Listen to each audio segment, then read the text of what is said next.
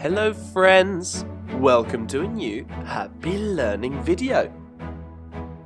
Quick question, do you like to travel? And if so, where would you like to go? How about going to Brazil? What? Do you know where Brazil is? Brazil is here. It's so big and look how much water surrounds it. No wonder it has such wonderful beaches. And is it far away?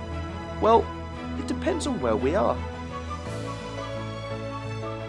Mexico, for example, is closer to Brazil than Russia. Makes sense, right? Of course it does. And all thanks to this fantastic globe. If we didn't have a globe to understand where Brazil is located on our planet, we would have to put on an astronaut suit and go into space.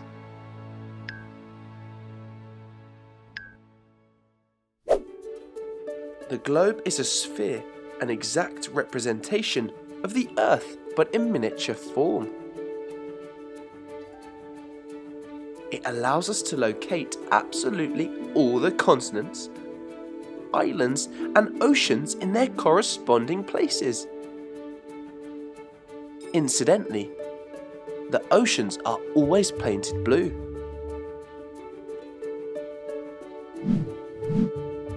The globe also allows us to divide the Earth into two halves the Northern Hemisphere and the Southern Hemisphere. Where would you place Brazil? Very good a small part in the northern hemisphere and a larger part in the southern hemisphere. We call the imaginary line that we draw to divide the Earth into two halves the equator. Sounds familiar, doesn't it?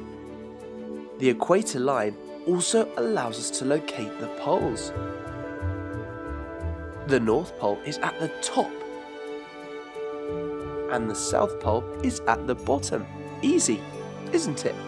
In addition to the equator, we also have another imaginary line, one that joins the Northern Hemisphere with the Southern Hemisphere, passing through the centre of the planet. It's as if we were going through an orange with a stick from top to bottom. This line is called the axis of rotation the Earth rotates around this imaginary line, which causes the day and the night. And did you know that it is slightly tilted? Interesting, right? The globe is like holding the world in our hands. But the truth is, for some things, it's not very practical. For example, it doesn't allow us to see all the places on Earth at once, and neither is it very practical to take on a trip either. It takes up a lot of space. It's for this reason we have the planisphere. The planisphere is another way of representing our planet. It's a map of the entire surface of the Earth and allows us to see the continents and the oceans, but on a flat surface. On a planisphere, we can also see the equator, the poles, and also the parallels and meridians, which are the lines into which the Earth is divided to help us calculate distances. So we can get a clearer idea of the distance between Brazil and Russia or between Spain and Mexico just by taking a quick look at it. What's more, the planispheres can be folded up, so they take up very little space and fit perfectly into a suitcase when we go on a trip. But if we only had the planisphere, we would think the Earth is flat, and we know it's not. In other words, the globe and the planisphere are very important. They represent exactly the same thing, but just in different ways.